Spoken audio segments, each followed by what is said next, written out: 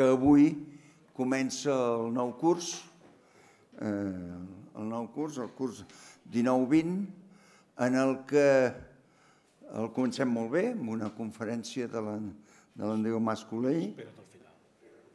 Bueno, jo ja, jo ja n'estic convençut de que, de que anirà molt bé. Tindrem activitats també el dia 21 d'octubre, que tindrem després de la Junta de General, tindrem el lliurament del Premi Societat Catalana d'Economia en el senyor Massimo Mota, premi que el jurat va atorgar en el començament d'aquest any, però que per diverses circumstàncies no hem pogut eh, lliurar-lo fins ara, fins a l'octubre. Esperem, de moment tot va bé. Després, al novembre, tindrem una conferència, perquè ja ho sapigueu, d'en Jaume Ventura sobre l'òptima organització política d'un territori. És el resultat d'una ponència que va presentar eh, en el congrés que vam celebrar el mes de maig i va ser una ponència que personalment em va agradar molt i a més en Jaume Ventura és un molt bon professor de la Universitat eh, Pompeu Fabra i per tant li vam demanar que ens fes una presentació a la societat, no sols com va fer en el Congrés de, de la Societat Catalana d'Economia del mes de maig. Al desembre tindrem la conferència del Premi Nobel, o sobre l'anomenat Premi Nobel, i així seguirem durant la resta del curs. Hem convocat per l'any 2019 i el termini s'acaba el dia 29 d'octubre a la una del migdia, el Premi Catalunya d'Economia. Premi dedicat a premiar una obra o un treball o una tesi doctoral sobre economia catalana escrita en els darrers tres anys i això està obert, repeteixo, fins al dia 30 de novembre. De moment ja tenim un bon número de candidatures, però si en sabeu més i sobretot si són de qualitat, us animo a que la presenteu. En el fulletó que hi ha aquí fora sobre eh, premis i borses del, de l'IEC, hi ha també un nou premi que hem decidit instituir, que és el Premi Miquel Viada i Bunyol. En els que són molt joves, el senyor Viada no els hi sona gens quan els que van néixer abans de 1858 sabran que aquest senyor va ser l'impulsor del ferrocarril Barcelona-Mataró, avui m'han dit que era al revés, que era el ferrocarril Mataró-Barcelona, més igual, la via fèrrea va ser l'impulsor, i llavors hem decidit crear un premi, també comptant amb la col·laboració de la Fundació La Caixa, eh, un premi a la millor obra sobre infraestructures. És a dir, no sobre economia general, no sobre economia catalana, sinó sobre infraestructures. I aquest premi el convocaríem, en principi, pensem, cada tres anys, eh, alternant-lo amb un altre premi que potser coneixeu, del que n'hem parlat, que és el Premi d'Assegurances, que també l'atorguem cada tres anys. Així, sobre un tema tan específic com infraestructures, pensem que en un període de tres anys es poden presentar doncs, diverses obres ja de, de qualitat, sobretot sobre aquest tema tan important per l'economia catalana. Moltes gràcies per la vostra assistència. Eh, pensava presentar l'Andreu Mascolell, però em penso que no fa falta, no és necessari. Vosaltres no heu vingut per saber qui és el, el nostre conferenciant d'avui, sinó que el que voleu és sentir-lo. I llavors, doncs, Andreu, tens la paraula. Moltes gràcies. Molt bé. Moltes gràcies per invitar-me a fer aquesta, a fer aquesta inauguració. La determinació del tema té una mica d'història i em permetràs que l'expliqui i em descarregui una mica amb tu. Eh, la primera idea que em va comunicar el president va dir vull, diu, he vist que has publicat un llibre que es diu eh, General Equilibrium and Game Theory, diu, per què no ens el presentes? Jo possiblement vaig posar cara una mica rara i ell segurament es va mirar al cap d'un temps, es va mirar el llibre i va decidir que no era el llibre adequat per una inauguració, per un públic econòmic eh, general. I llavors eh, va pensar com me'n surto d'aquest lío i com que havia publicat un altre llibre amb carreres i planes, la segona idea que em va dir, diu, per què no parles de turbulències i tribulacions? Però llavors també parlant, ja l'he presentat eh, 20 vegades el, i, i és història passada, eh, llavors eh, cal mirar cap endavant, però alhora en, eh, ancorar-ho eh, allí, per tant el que faré quan no saps molt bé per on sortir-te'n, dius que fas un decàleg. Eh? Llavors dius 10 coses diferents i això és el que faré, excepte que me n'han sortit 11. Eh? O sigui que faré 11 reflexions eh, inspirades per l'experiència d'aquells anys a la hisenda, a la hisenda catalana. Eh, les 11 mereixerien eh, o bé una una, o bé mirar fons la literatura per assegurar-se que ja està fet o que no està fet, i si no està fet mereixerien pensar-hi, eh, però jo us ho tractaré eh, eh, del que en sortirà d'aquí serà articles de diari i alguns ja els he, alguns ja els he fet eh, eh, com a tals, però em sembla que tots són interessants. Els 11 punts els, eh, els classifico en tres eh, parts i sota el títol general de dificultats, perquè són, tot, tots són dificultats i a veure com ens en sortim. Això és l'esperit del temps de servei a, a, a, a, la, a, la, a la hisenda, no havia res que fos molt fàcil. Llavors, eh, hi haurà eh, dificultats, eh, diguem-ne, d'ordre general originades amb la distribució competencial, el fet que estem eh, en una situació que efectes pràctics, en podem dir, de federalisme, de federalisme fiscal, i és ben sabut que el federalisme fiscal és, eh, és, és eh, complexa, o sigui, dificultats relacionades amb aquesta estructura general de competència. Després hi haurà dificultats més relacionades amb el funcionament més particular del sistema fiscal espanyol i de la nostra, i de la nostra realitat. I la tercera, en diré, eh, dificultats específicament catalanes. En quin sentit específicament catalanes? Eh, amb el sentit de que la Generalitat té competències per fer-ne alguna cosa. Unes dificultats que no vol dir que només passin aquí, eh, però sí que són dificultats amb les quals eh, eh, han de subjecte de debat i de mesures o el que sigui. Eh, I per donar-vos un índex de, de quines seran les històries, doncs us faig l'índex de les 11 i llavors dedicaré 3 minuts o 4 a cada un, a cada una, o sigui que serà realment un índex de, de coses.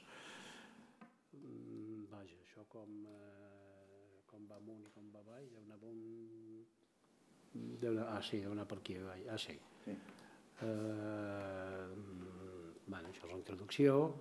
Les dificultats originades en la distribució competencial, el tema de, de respecte a l'administració central, el tema de les pensions, respecte a l'administració central també el tema d'infraestructures i alguna menció de respecte a l'administració local, de les dificultats relacionades amb el funcionament del sistema fiscal, l'agència tributària, la competència fiscal, el dèficit fiscal territorial i les dificultats específicament catalanes, el tema de la despesa social versus despesa productiva, la gestió de deute i del FLA, públic-privat, sous públics, tarifació eh, social. Bé, doncs són 11, 4 minuts per cada un, ja són 44, no? Ja, sí, sí, sí. I ja fem, doncs anirem, eh, anirem eh, ràpid. El primer és segurament molt fonamental en termes de, en termes de, de, de, federalisme, eh, de federalisme fiscal i segurament no té una solució neta, eh, però us voldria eh, parlar d'una forma segurament no gaire coherent al final sobre el tema amb una col·lectivitat política doncs, hi ha diversos assumptes. Assumptes poden acabar sent competències amb un estat eh, centralitzat, on les competències són totes del govern central, amb un estat federal, aquestes competències acabaran distribuïdes. Al marge de, de, de que les funcions siguin competències, també hi ha un cert sentit social de, de prioritats, o un sentit social eh, conduït pels mecanismes polítics de quines són les prioritats.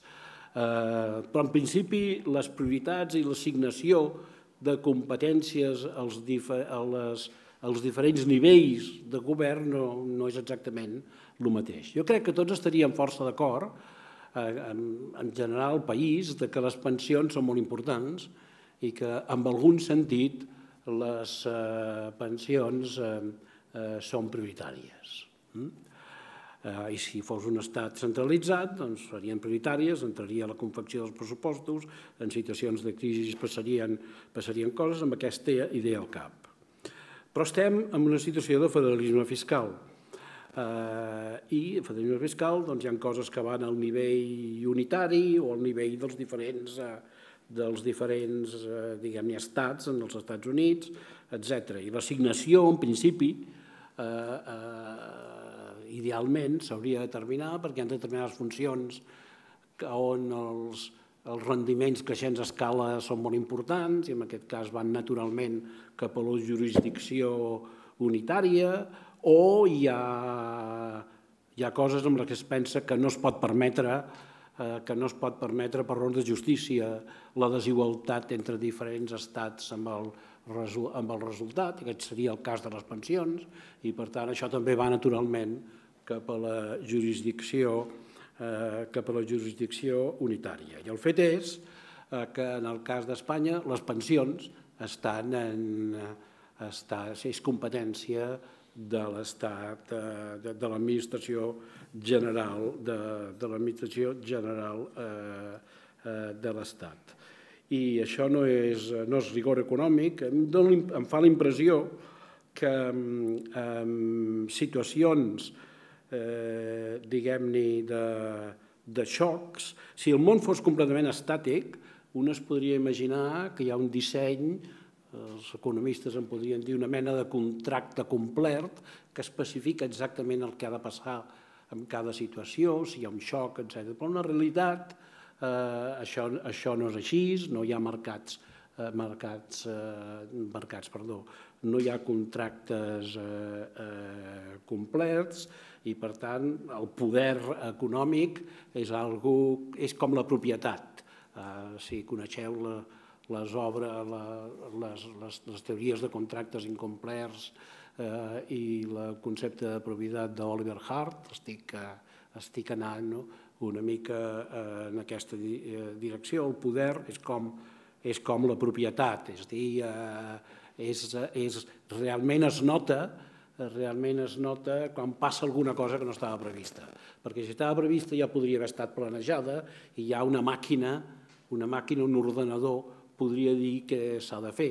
Però quan passen coses imprevistes, doncs llavors el que passa està determinat per qui té, eh, per qui té eh, el, el, el poder. Eh, en fi, això és molt abstracte, però més concret eh, que estic dient, doncs segurament que en aquestes situacions eh, i, quan es donen, eh, i quan es donen xocs, la, la prioritat eh, per les pensions segurament ha anat més enllà del que seria l'òptim amb algun anàlisi d'optimalitat, perquè en termes planers aquest era eh, la gran competència de qui tenia el poder, eh, que era l'administració central i per tant l'ha cuidat molt. Si voleu més en negatiu, també podeu pensar eh, que encara que el govern central al final és relevant per tota mena de competències, en educació o en sanitat, i té, un, i té una, una cosa intermèdia, que són les autonomies, eh, que no són exactament un vel, eh, un vel transparent, eh, i per tant el, el cop el cop d'una crisi eh, l'absorbeixen més aquestes, aquestes, intermèdies i per tant imagineu-vos el problema d'optimització eh, del centre doncs segurament li portarà eh, a desplaçar eh, l'adaptació al xoc eh, cap a les competències que no té i per les quals sentirà un efecte més, eh, més eh, amortiguat. Um, bé, i el fet és que, les, que, que es van tocar les pensions durant la, eh, durant eh, la crisi, certament, eh, amb prudència i no sé si algun nivell anticipant eh, que, escolta, quan les coses vagin millor ja tornarem a la, ja tornarem a la cosa, a la cosa habitual. Um,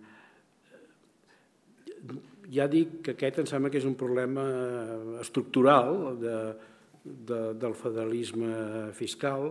L'únic que m'atreveixo a dir és que segurament, o potser haig de dir que hagués preferit, perquè segurament eh, seria millor que complementant l'assignació de competències als diferents nivells eh, de l'administració hi haguessin òrgans que fossin una mica més que deliberatius, que hagués algun element de, co, de.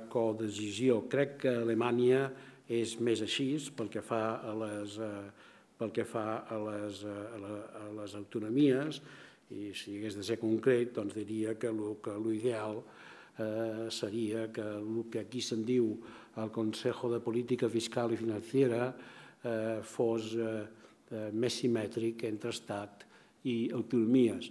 Eh, a veure, sobre el paper és simètric, eh? perquè l'Estat nomena la meitat dels membres i les autonomies l'altra meitat. Eh, però però l'Estat nomena la meitat més un. Uh, o sigui que la simetria és purament, uh, és purament, és purament formal.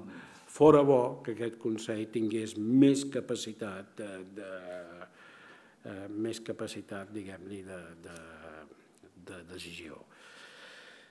No m'atreveixo a, no m'atreveixo a dir més perquè, repeteixo, aquí no tinc cap uh, solució. Les altres dos que esmentaré, de problemes competencials, Eh, no són tan fonamentals. Crec que són problemes eh, que tenim que són resultat de que l'assignació de competències es va fer no per un procés d'optimització, sinó per compromisos polítics eh, diversos. I, per tant, crec que les dificultats no són conseqüències, diguem-ne, inherents en el federalisme fiscal, sinó a la manera particular com es va eh, com es va fer, però couen, eh? i couen, eh, i, i, i, i poden arribar a coure molt. A infraestructures, la distribució competencial no té base lògica. El metro, el, el, el metro eh, depèn de la Generalitat eh, i Rodalies depèn de l'Estat. Eh, I per què? Doncs perquè quan estaven tancats en una habitació eh, m'imagino que el, m'imagino que el president de Renfe estava amb el telèfon assegurant-se que no se cedís eh, rodalies a les, eh, a les, a les autonomies. Eh, I això quins, eh, quins problemes té? Bé, sí, com és la realitat, eh, la Generalitat eh, tendeix, no diré a sobreinvertir, però fer un sobreesforç d'inversió i l'Estat tendeix a just el contrari, eh, és a dir, a, a, a fer-li mandra invertir, a no invertir tot eh, el previst, a no executar, a no tenir pressa, etc etc. doncs, esclar, acabem que la Generalitat inverteix en el seu eh, i tenim magnífiques estacions de metro, eh, i l'Estat no acaba mai l'estació de la l'estació de la Sagrera eh, amb, amb, una, amb una distribució de competències diferent, eh, a lo millor la Generalitat, doncs, en comptes de en comptes d'haver-se apassionat amb la línia 9, eh, s'hagués apassionat amb, amb Rodalies, o a lo millor el corredor del Mediterrani eh, doncs ja estaria fet, almenys des de Tarragona i Barcelona, però el corredor mediterrani tampoc és competència eh, de l'autonomia. La, Bé, aquest és un problema i, eh, i cal tenir-lo present. Eh, es va intentar a través de l'addicional tercera assegurar que la propensió a invertir fos, eh, fos raonable per part de l'Estat, també, eh, però no es va, no es va, no, l'addicional tercera no es va complir. Vull, eh, si puc fer un punt polític, vull fer constar, per això a vegades confon, que certament el Tribunal Constitucional va dir que eh, a pesar de l'Estatut eh, l'Estat no tenia l'obligació d'invertir d'acord amb, el, amb el PIC perquè no es pot, no es, no es pot, cap, no es pot eh, condicionar el pressupost. I vale, no tinc res a dir, és així, però el tema no era si en tenia l'obligació, el tema era si volia, havia fet un pacte, s'havia fet un pacte, doncs si volia ho podia fer, eh, però que no volia i el Tribunal Constitucional li va dir que si no volia doncs podia, podia, podia no fer. En fi, i, i, aquí, i, i aquí estem amb la línia 9 i eh, Rodalies, i Rodalies com, eh, com, com, com ho tenim. Respecte a l'administració local, la, eh, la distorsió, que també hi és, és, eh, és més subtil. la, els nivells profuns de l'Estat encara no s'ha acceptat que les autonomies tenen el mateix nivell, com a mínim, eh, que les províncies. Simplement no s'ha acceptat i fixeu-vos en molts mapes i tal, que sempre surten les províncies, i les províncies és, és més fonamental que les, eh, que les autonomies. Això, a l'hora de la veritat, és, eh, té molta importància, perquè vol dir que en una situació de crisi el totalment impensable és que, és que fallin els ajuntaments o les diputacions. És a dir, que el nivell de l'administració local eh, pugui entrar en crisi. Si entra en crisi al nivell autonòmic, noi, sempre sabíem que, que no sabíem per què servia. Eh? El nivell autonòmic, noi, eh, per, el resultat d'això és que, eh, és que la hisenda eh, local relativa a les eh, competències que té, i no sé si hi haurà algú d'ajuntaments aquí que llavors em dirà que no, eh? però en fi, la meva impressió és que té un millor, l'administració local té un millor tractament, tractament fiscal en relació a les competències eh, que té i en particular, i això és molt important, té més capacitat de, de recaptació eh, directa en carreres eh, sempre deia que els ajuntaments eh, tenien mig concert. Mm, és dir, eh, del que ingressen, la, la, la part de, de transferències des de part de transferències de l'Estat amb les seves finances és menor que la part de, que, que, que el que és per les, eh, per les autonomies. I que encara hi ha una cosa més subtil en tot això, que està diguem a la Constitució, eh, i és que la jerarquització eh, es salta les autonomies, és a dir, eh, els ajuntaments eh, depenen de, del Ministeri. I quan passen coses on han d'anar és al Ministeri. I els ingressos els reben, els reben, del, els reben del Ministeri.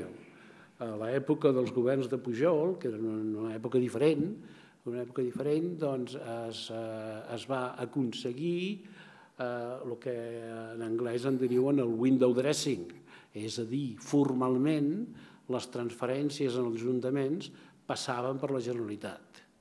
Mm? Amb això es feia veure que el pressupost de la Generalitat era, era, era més gran i el, eh, quan ara seria anecdòtic, eh?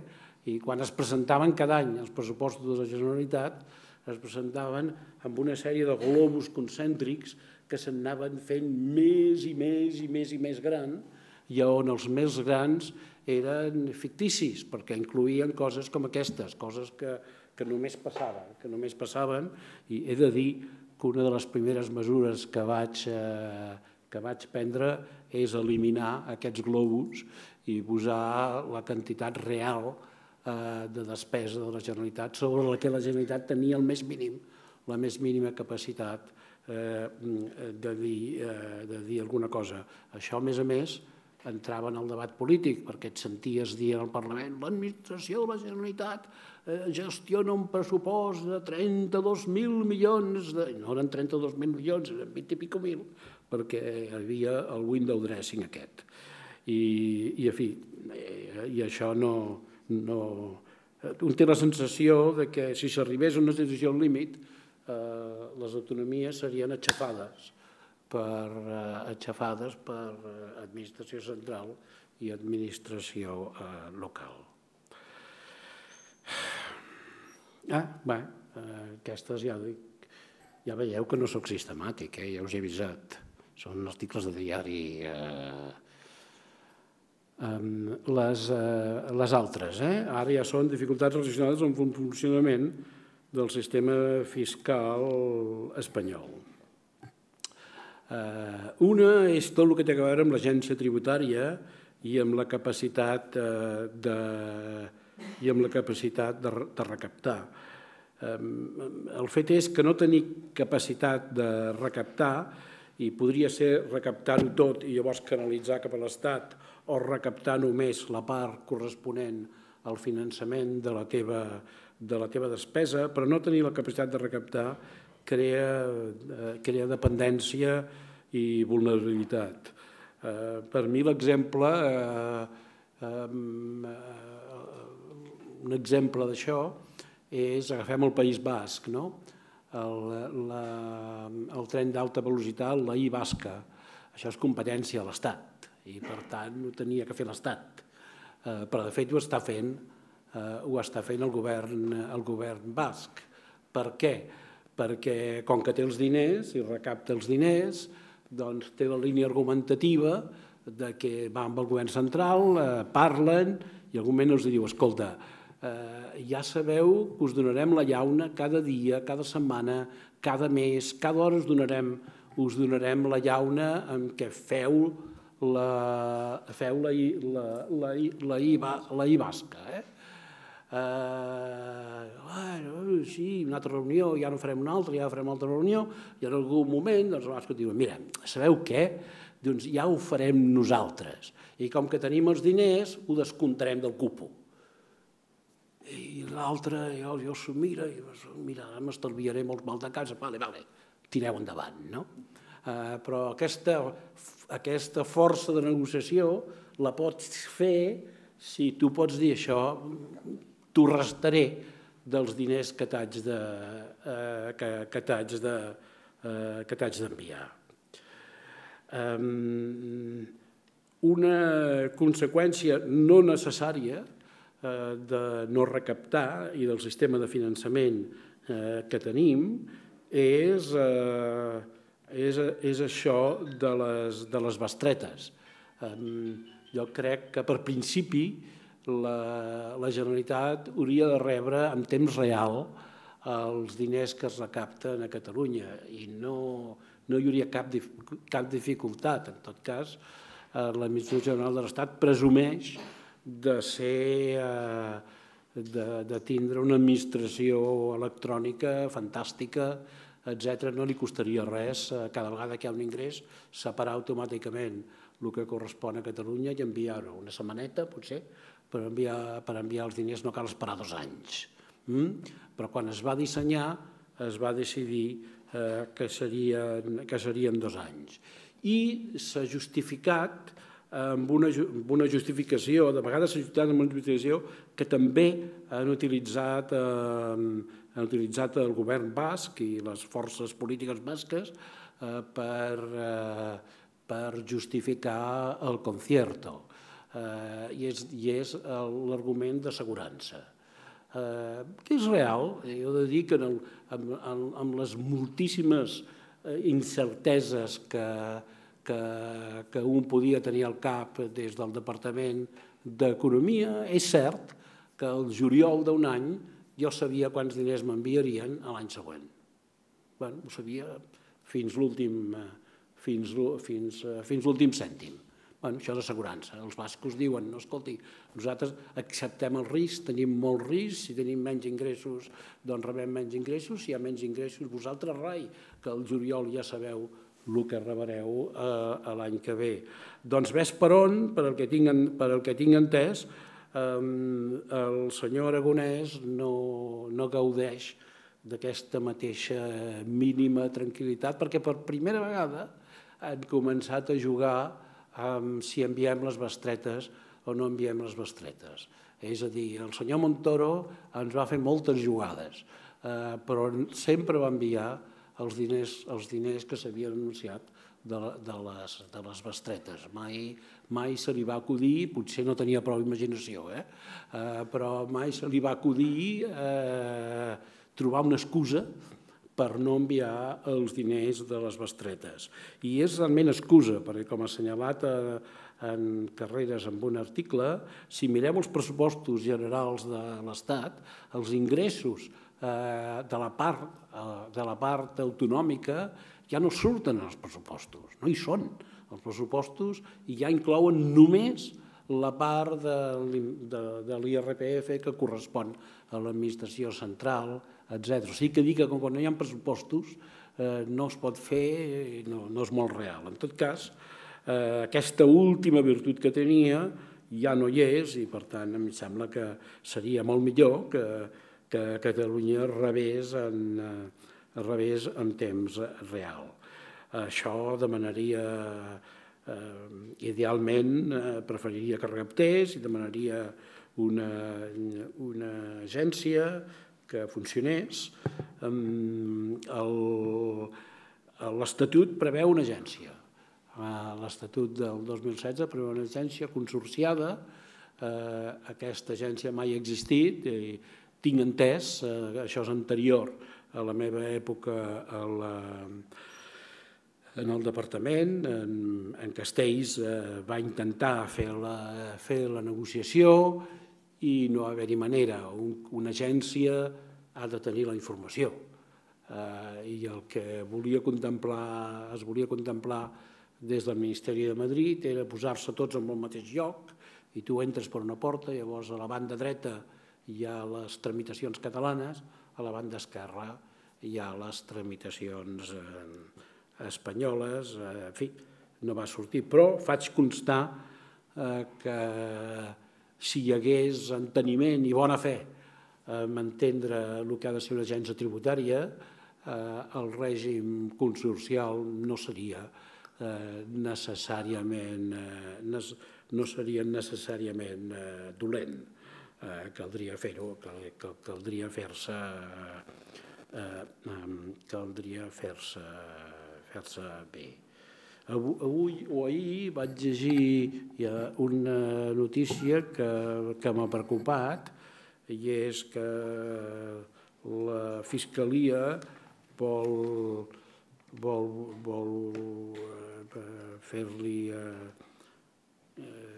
vol investigar o el que sigui eh, en, en el senyor Salvador eh, per eh, posar en funcionament el sistema SPRIU. El sistema SPRIU és un sistema informàtic molt potent. El vam, el vam iniciar a la, nostra, a la nostra època i sí, és cert, el sistema SPRIU té la capacitat de gestionar eh, tota la recaptació que es fa a Catalunya simplement perquè és molt potent. Però això no vol dir que, que, que es pretengui gestionar-se eh, al marge de les normatives de les normatives legals. Jo crec que tenir eh, potència a l'agència tributària és, eh, és diria, pràcticament, eh, eh, pràcticament degut. Una cosa és que tinguis una hisenda limitada i una altra que et digui no, com que tens aquesta, aquesta hisenda limitada només pots anar amb tartana no pots anar amb una, amb una camioneta amb una camioneta, amb una camioneta bona. N'he fet quatre. Me'n falten, me falten set. Eh? Eh, la competència fiscal, a veure, això em refereixo a, per entendre'ns, la competència en successions, eh, donacions, impost sobre la renda i, en fi, tot el, totes les dimensions amb les quals hi ha diferència, però tingueu en mente, bé, no, eh, qual, eh, quals, qual, qualsevol. Aquí, aquí diré, potser, potser no us ho espereu el que diré, però, ui, tinc que anar passant, no? Ah, sí. Um, I és, uh, a veure, si parlem a nivell de principis, eh, saber, mm, capítol 3 de, dels llibres de micro, eh, que eh, accepten situacions molt particulars, el resultat de la competència no és necessàriament eficient i que en terme, i, i per tant la, la competència fiscal entre simètrics, entre, entre jurisdiccions eh, que són igual, eh, segurament l'equilibri és un equilibri ineficient. És un equilibri que seria paret o dominat per, eh, per, un, eh, per un acord eh, per un acord cooperatiu. Per tant, des del punt de vista de la, de la teoria, el normal eh, seria un acord cooperatiu eh, sobre competència, competència fiscal. I, a veure, això no vol dir eh, eh, competència fiscal en, en aquells impostos que tenen una, un efecte exterior. Hi ha, hi ha impostos i regulacions que no, ten, que no, que no, eh, que no el tenen. Si no hi ha simetria, la situació eh, eh, pot ser encara molt més eh, complexa, perquè si no hi ha simetria, l'equilibri, diguem-ne, no té per què ser un equilibri on, eh, on tots hi perdin respecte a un ideal cooperatiu. Jo crec que Madrid hi guanya. Eh, I Madrid hi guanya perquè nosaltres no podem retornar-li eh, amb, la mateixa, amb la mateixa moneda eh, perquè la nostra hisenda no, la nostra hisenda no ho resisteix. Per tant, des del punt de vista de Catalunya estem en la pitjor situació possible, eh, amb un món on eh, el resultat simètric seria ineficient, però més estem en una situació simètrica eh, i en una situació on eh, Madrid hi surt guanyant i no li donem voltes. Per tant, eh, jo no estic en contra d'harmonitzar. Eh, en fi, no estic, no, no estic en contra i em sembla que si algú em pregunta... Si, tenim, insti, tenim els instints nostres, són no, no, no tocar mai la capacitat de l'autonomia de fer de tindre la seva pròpia política fiscal, per principis. No, no ho toquem mai, per principis. Eh, però però el resultat llavors és que ens prenen el pèl. Eh, per tant, la meva posició eh, seria favorable a l'harmonització almenys amb, almenys amb successions, amb successions, donacions i, eh, i patrimoni. Pedro Sánchez ho ha mencionat alguna vegada, eh, ara anava a dir, ho he buscat a les 320 mesures i no ho he trobat, però mentiria, no ho he buscat. Però estaria molt sorprès si algú em digués que una de les 320 mesures és harmonitzar els impostos. Eh, segurament tu ho saps millor. Inclou harmonitzar els impostos? Eh? No, ho, no, ho, no ho saps, és important. El dèficit fiscal territorial. Jo li poso aquesta vegada territorial per no confondre que són els diferents dèficits. Eh? Aquest és el dèficit, allò quan parlem sempre del el dèficit eh, fiscal. Aquest és un tema vast per tindre molt, per tindre molt clar els temes que us he parlat abans de l'agència eh, tributària afecta només a l'hisenda catalana. La competència fiscal afecta només a l'hisenda catalana, és dir, són temes essencialment del pressupost català el tema de, del dèficit fiscal territorial és del pressupost de l'Estat. Eh? No és de... No, no, eh, no és. És un tema vast, és un tema que té una vessant tècnica, tècnica molt forta, eh, però que s'ha estudiat molt i que jo crec que en lo fonamental hi ha poques, eh, hi ha poques disputes. Eh, N'hi han, però en grans, en grans eh, termes, tots els economistes seriosos que han estudiat el tema doncs eh, arriben a xifres potser una mica diferents, eh, però en fi, no hi ha dubte que, que Catalunya transfereix eh, recursos considerables. També és veritat que Catalunya en renda està per sobre de la, està per sobre de, eh, eh, de la mitjana. Eh, per tant, algun dia m'agradaria que es pogués implantar el principi de que si la renda per, si la renda, si la renda per persona, la renda per càpita en una comunitat autònoma eh, normalitz, eh, purchasing power eh, és la mateixa que en una altra, no hi ha d'haver-hi transferències entre les dues. Eh? Eh, en aquest moment nosaltres encara estem per sobre i bueno, alguna transferència té que haver. De totes maneres, en aquest tema hi ha, hi ha confusions considerables, almenys n'hi han de dos eh, tipus. Eh, una és la de quin és més important, si el mètode del benefici o del flux, eh, o del flux monetari, i per tant hi ha una, hi ha una certa tendència, eh, eh, com que el de benefici i la transferència és menor, depenent de... Doncs un insisteixen més amb el mètode del benefici, els altres del flux monetari, o amb el flux monetari és més gran que el benefici, per entendre'ns, perquè, eh, eh, perquè en, en el del benefici es compten com ingressos de Catalunya una, una, una proporció de les despeses del Museu del Prado, i, eh, eh, eh, però, dit sigui entre parèntesis, no s'inclouen a la resta d'Espanya una fracció, això és comptable eh, només, una fracció de les despeses del MANAC, eh, eh, el, doncs, eh, i, i per tant eh, la xifra, eh, la, la xifra baixa. Les dues són les dues diuen el que diuen, des d'un punt de vista macroeconòmic, jo crec que la del flux monetari compta molt, des d'un punt de vista de benestar, eh, d'economia del benestar, la relevant és la del benefici, però certament no admetria quan se'ns diu no, no, la, la que compta des del punt de vista del benestar és la del benefici i és irrelevant a on es, eh, a on es fa la despesa.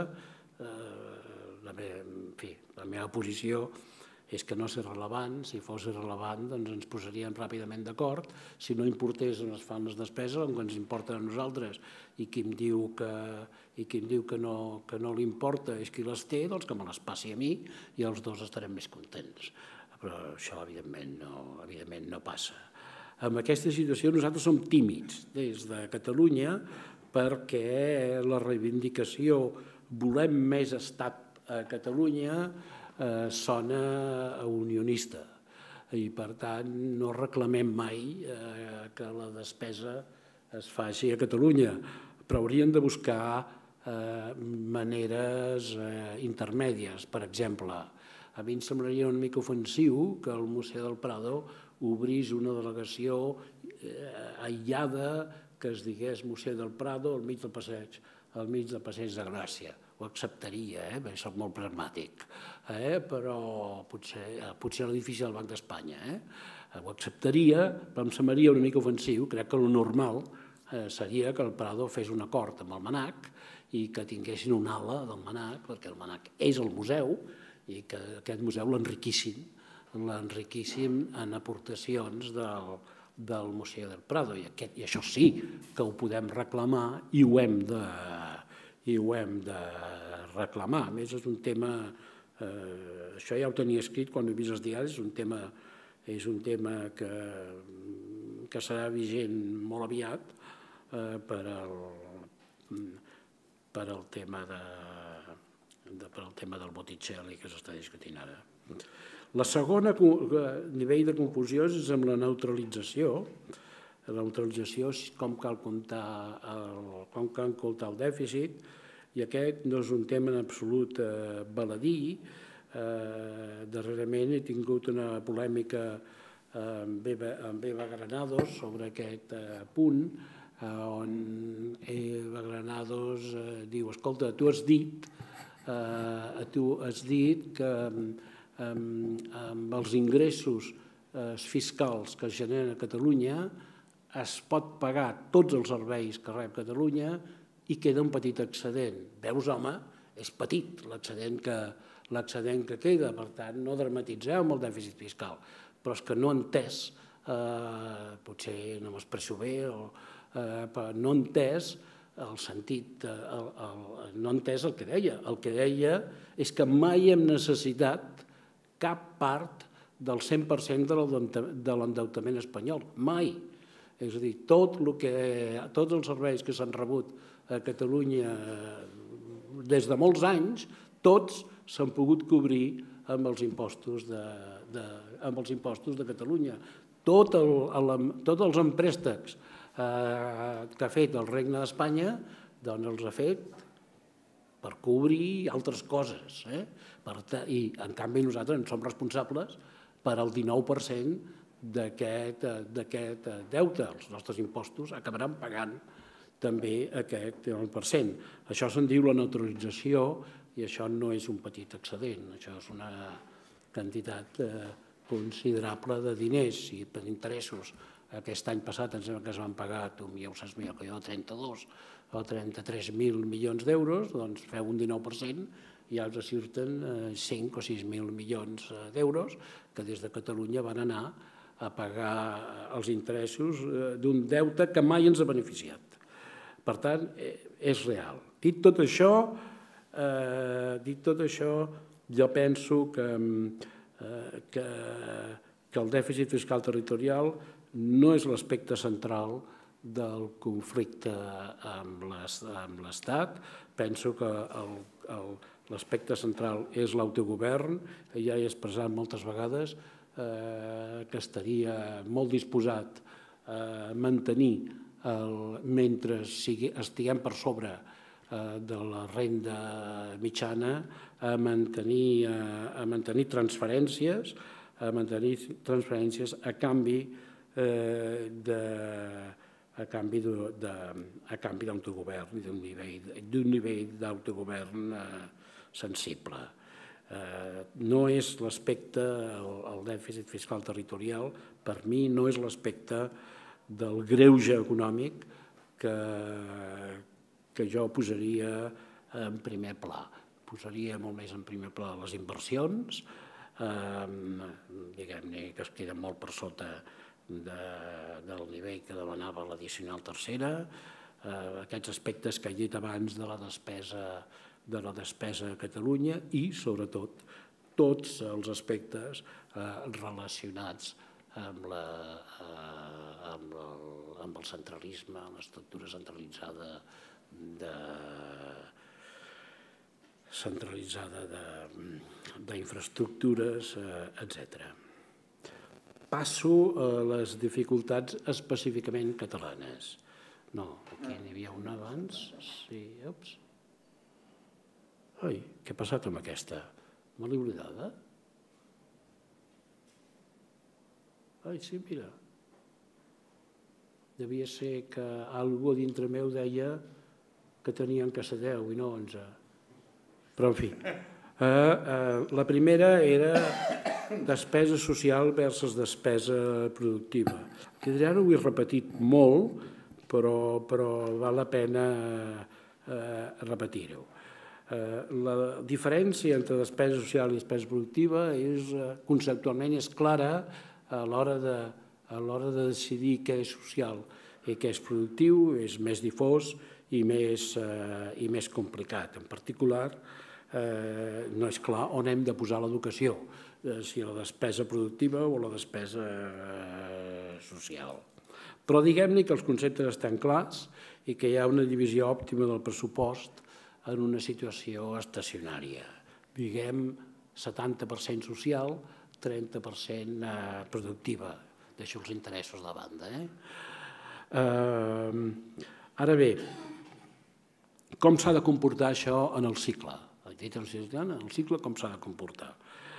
Jo diria que si tenim una fiscalitat ortodoxa, és una fiscalitat de no dèficit, mm, la, la, la fiscalitat del pacte eh, d'estabilitat, de, llavors eh, diria que, que la despesa, que la despesa eh, social ha de ser eh, aquí posat supercontracíclica eh, ja se sap que quan que els macroeconomistes quan parlen d'això sempre procíclica i jo, jo em faig una mica un lío. Què vull dir amb això?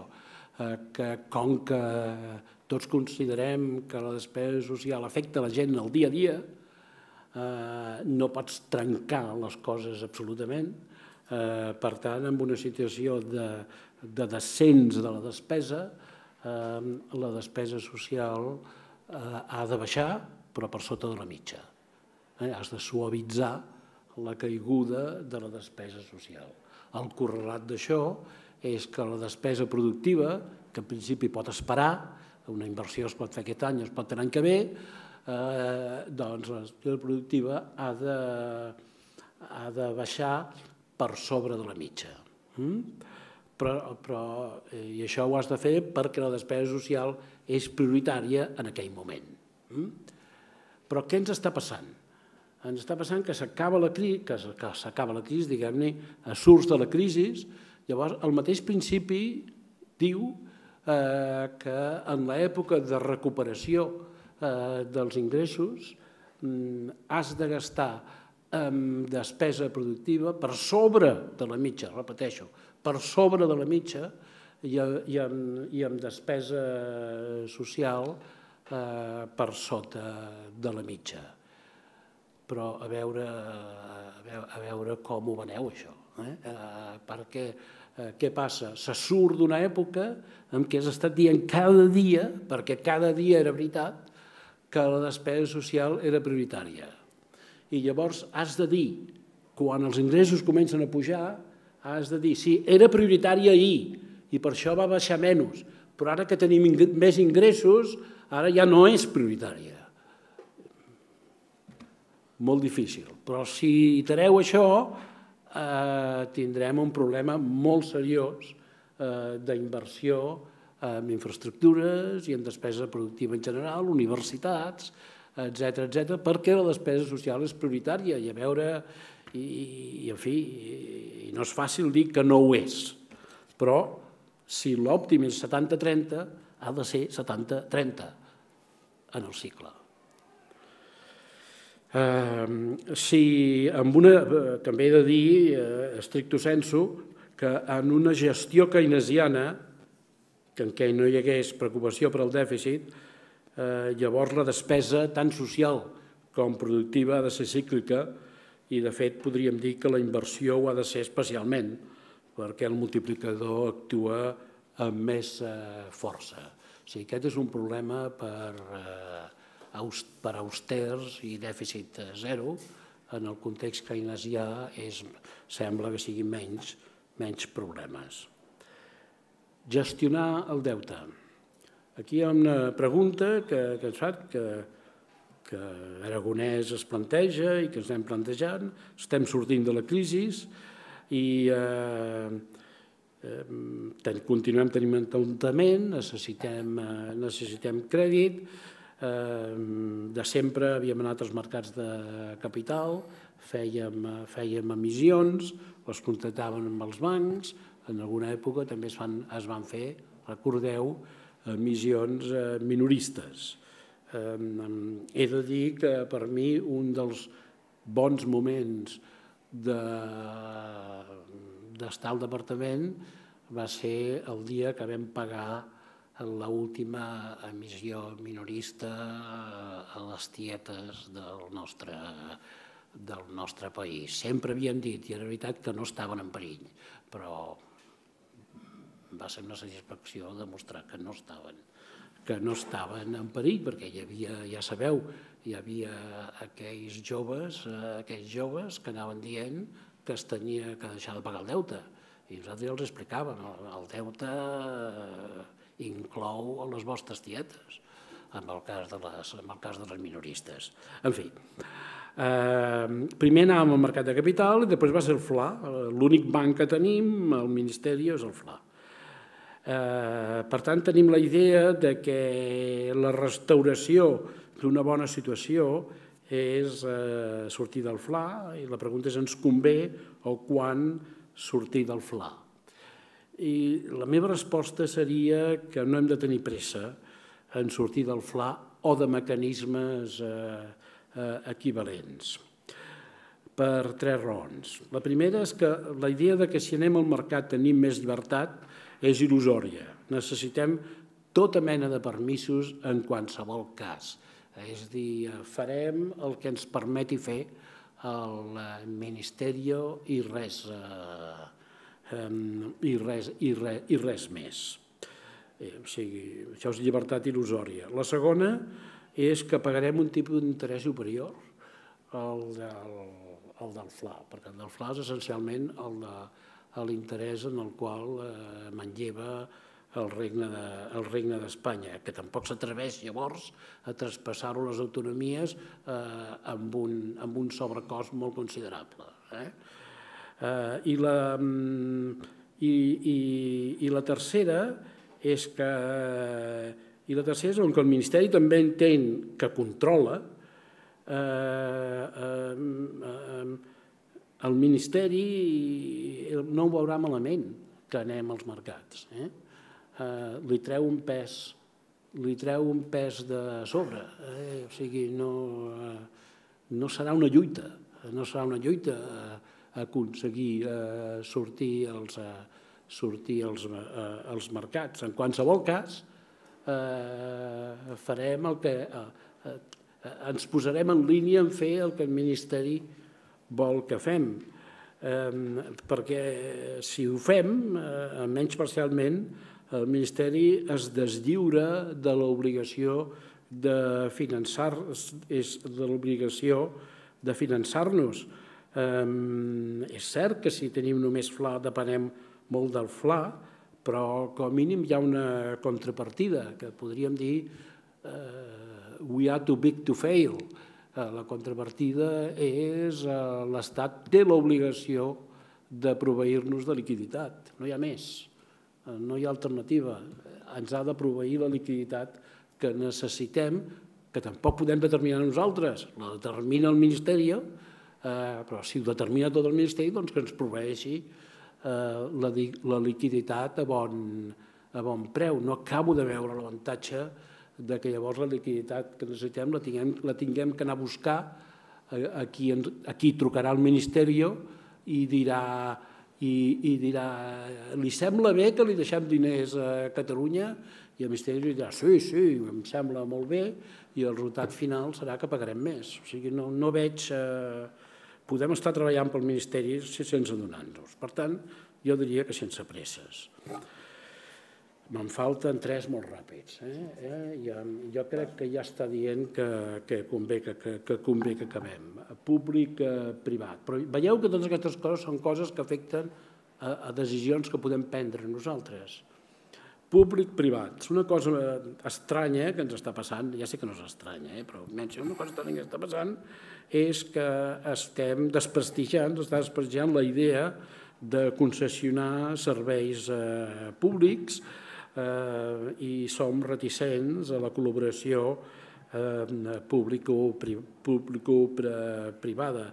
Altra vegada, Aragonès està trobant eh, dificultats eh, serioses amb la llei que està, que, està, eh, que està propugnant, que ja posa moltes restriccions respecte a el que tradicionalment es podia fer en termes concessionals, però molts no els hi semblen eh, suficients ho sabeu prou bé.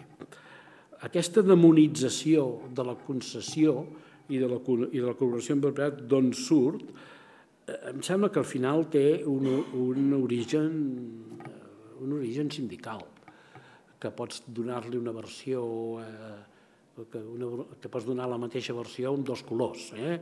Un color poc, eh, diguem-ne, poc amicable amb els sindicats és dir, mireu, els sindicats són forts al sector públic, per tant, com més sector públic hi hagi, millor. llavors més forts seran, per tant, ells estan a favor de més sentit públic. Una versió amb el mateix resultat, però més amigable amb els sindicats, diria els sindicats s'han donat compte eh, que la protecció al treballador que poden aconseguir des d'un contracte en el sector públic és molt superior al que poden aconseguir amb un eh, contracte des del sector privat i, per tant, és lògic que busquin el tipus de contracte que maximitza eh, la protecció del treballador.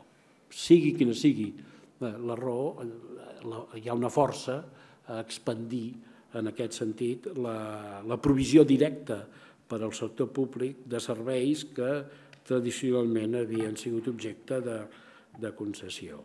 I a mi em sembla que això és un petit desastre perquè portarà, eh, portarà està portant i portarà a l'alentiment eh, d'inversions en el sector públic, a més en un moment en què els tipus d'interès estan per terra, eh, doncs en aquest moment no podem, el sector públic no pot demanar, demanar emprèstits, perquè això és col·laboració amb el, sentit, amb el sector privat, no pot fer concessions perquè això és col·laboració amb el sentit amb el sector privat, i mentrestant les màquines del clínic s'estan deteriorant i les màquines d'altres i els equipaments d'altres llocs s'estan eh, deteriorant.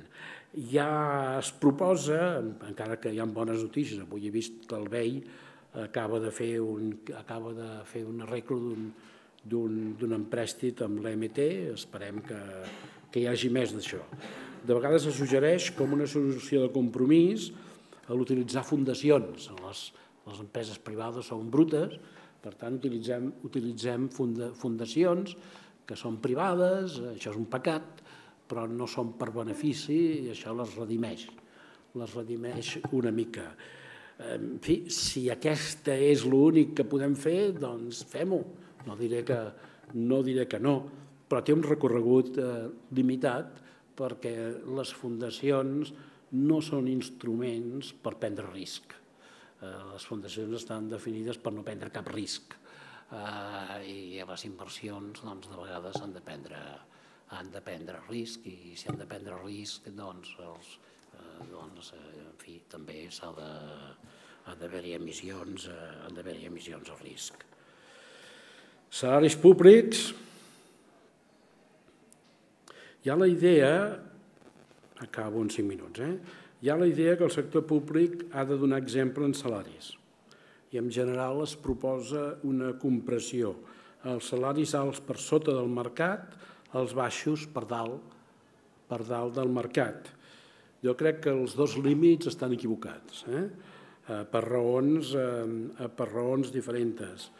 Els, eh, els de dalt, perquè per portar una gran empresa, una gran empresa pública, doncs el que necessites és el millor professional i el millor professional segurament haurà de guanyar més que el president de la Generalitat. És a dir, el, el, les jerarquies eh, polítiques i la, com les universitàries, per exemple, el rector no les ha determinat el mercat i, per tant, la seva remuneració no les ha de determinar, no les determina el mercat, eh, però tampoc anar en l'altra direcció.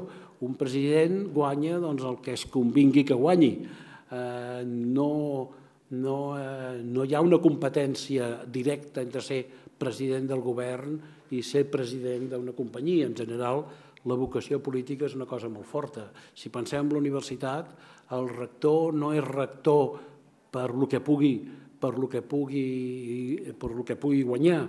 Eh, I per tant, jo crec que no té sentit lligar aquestes dues escales salarials i els efectes negatius són, eh, són molt considerables. Per exemple, per la universitat, un exemple que coneixem, eh, a mi em sembla, vull repetir moltes vegades, que les universitats no podran fer res seriós amb transferència de tecnologia si no, tenen, si no poden contractar tres persones que guanyen més que el rector eh, perquè aquest és un treball molt sofisticat eh, i simplement no, no, no podran, eh, i de fet, eh, de fet doncs van, eh, doncs van, eh, van, van dèbils. I per baixos, últimament, he sentit, eh, he sentit l'argument de que el sector públic ha de donar exemple i estirar cap amunt el sou, eh, els sous privats.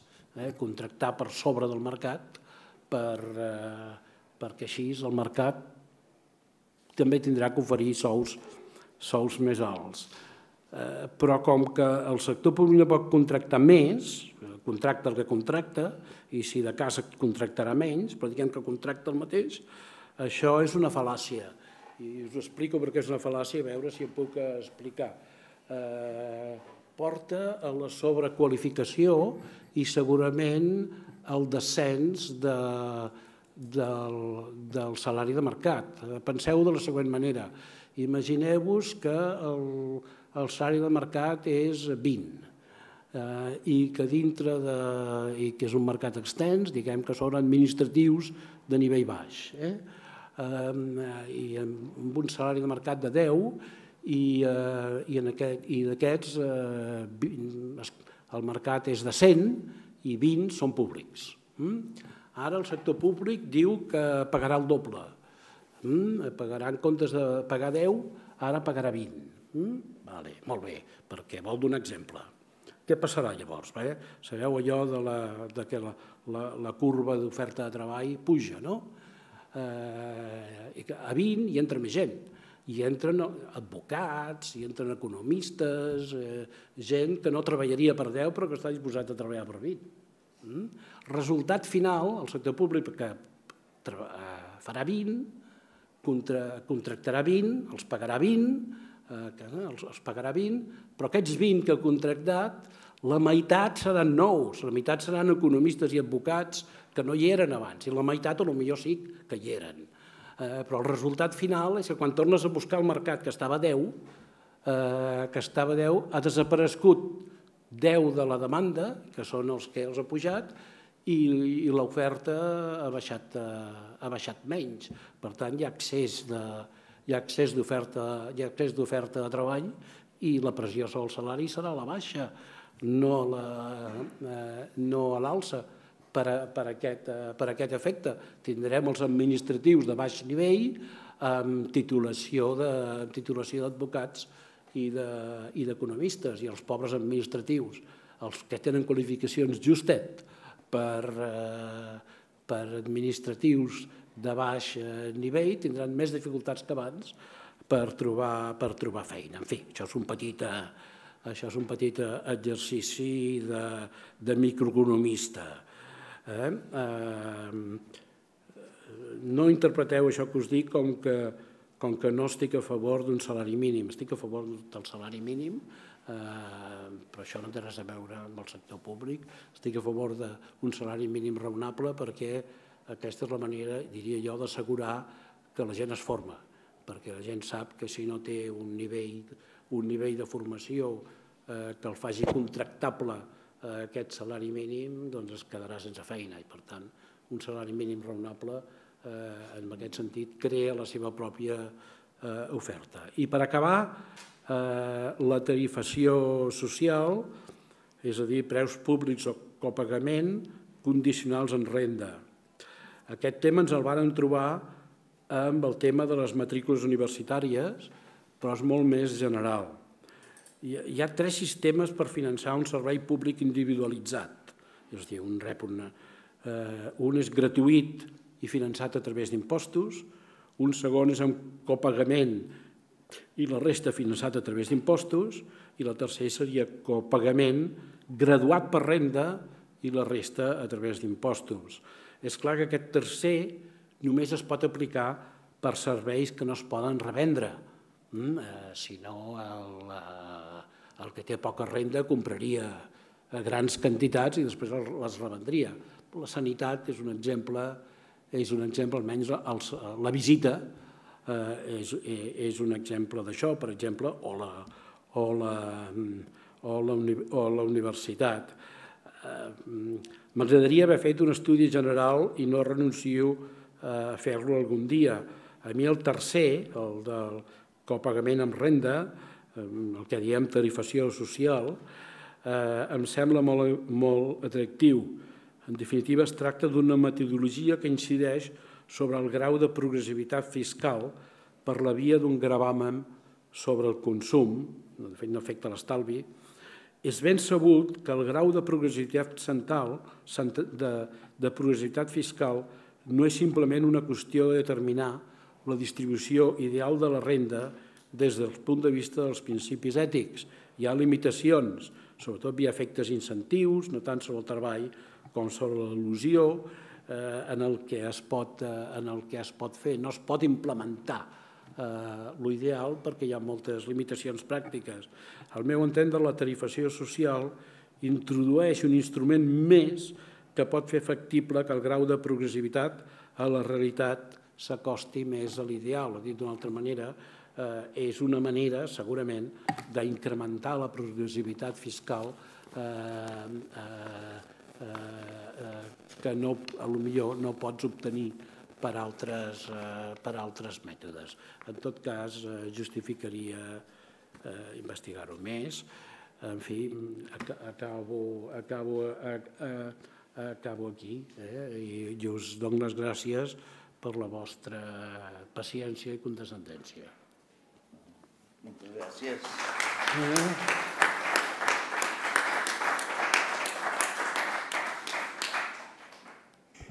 No et preocupis pel temps, ens queda encara mitja horeta.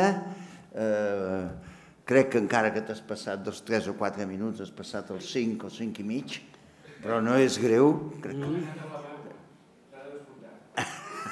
Que què? que, I per tant, crec que ens has eh, animat eh, a fer preguntes sobre totes aquestes dificultats doncs endavant. que, que has dit. Em sembla que aquí són les, les gent... No, com, em sembla que tenies una...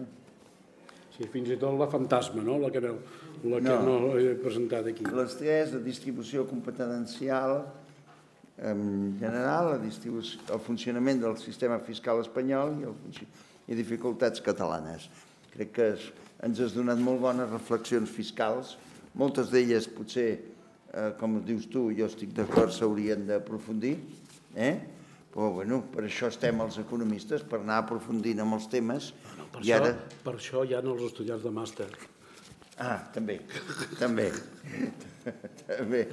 Bé, però aquests no tenen massa experiència. Exacte. Els que tenim aquí entenen i tenen idees, tenen experiència i us animo a que li feu comentaris o preguntes. Endavant. Si dieu qui sou... Eh?